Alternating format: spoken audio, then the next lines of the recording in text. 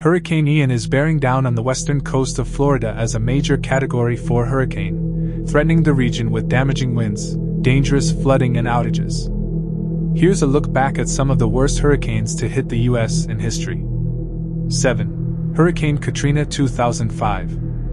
One of the most devastating hurricanes in American history was Hurricane Katrina. Near Buras, Louisiana, Katrina made landfall as a Category 3 storm with winds of up to 125 miles per hour. More than 1,800 people died as a result of the hurricane and its aftereffects, mostly people from Louisiana and Mississippi. With an estimated $170 billion in damages, Katrina ranks as the most expensive storm to ever hit the United States. 6.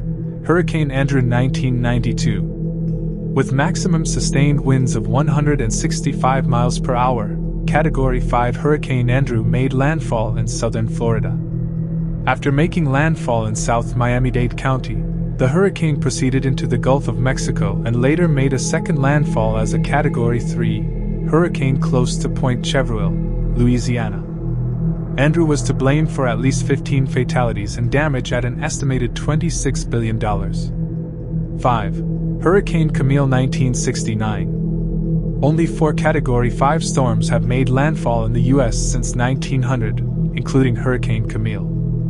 Along the Gulf Coast of Mississippi, Camille made landfall. The hurricane's true maximum sustained winds are unknown because the storm destroyed all wind recording equipment in the region. However, estimations suggest that the hurricane's highest sustained winds were around 175 miles per hour along the shore delivering a storm tide of more than 24 feet. Southeast Mississippi, Dauphin Island, the coast of Alabama, and the Mobile metro region sustained the most damage. 256 people died as a result of the storm, and damage totaled more than $1.4 billion. 4.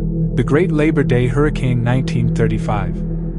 On Labor Day 1935, a hurricane with winds up to 185 miles per hour and devastating storm surges hit the Florida Keys. More than 400 people died as a result of the Category 5 storm's strong winds and high tides. Veterans of World War I who were working on a project to connect the Keys to the railway were among those killed. The cost of the damages was estimated to be over $6 million. 3. San Felipe Okeechobee Hurricane 1928 as this hurricane made its way from the Leeward Islands to Florida, more than 2,000 people perished. 312 people died in Puerto Rico when the hurricane originally made landfall there as a Category 4 hurricane with winds of more than 140 miles per hour. A few days later, the hurricane made landfall close to Palm Beach, Florida. The hurricane created a lake surge of 6 to 9 feet, which left inland Lake Okeechobee in the state with the highest storm damage. Florida saw more than 2,000 fatalities, largely as a result of lake surge. 2. Galveston Hurricane 1900. One of the deadliest natural disasters in American history, this Category 4 storm that struck the island city of Galveston, Texas, killed hundreds of people. The entire island, as well as other areas of the Texas coast, were submerged by storm tides that reached heights of up to 15 feet over $30 million in damage, and an estimated 8,000 fatalities were mostly the result of high tides. The majority of the city's structures were damaged, leaving more than 10,000 citizens homeless. 1. The Cheniere Caminada Hurricane 1893. A Category 4 hurricane with winds of more than 130 miles per hour made landfall on the tiny island of Cheniere Caminada, Louisiana, more than a century ago. Only a few of the town's 1,471 homes were left standing after the little fishing settlement was devastated by a storm surge of about 18 feet, killing more than 770 people. As the hurricane passed across the Mississippi Delta and into southern Mississippi and Alabama, it is estimated that 2,000 people died.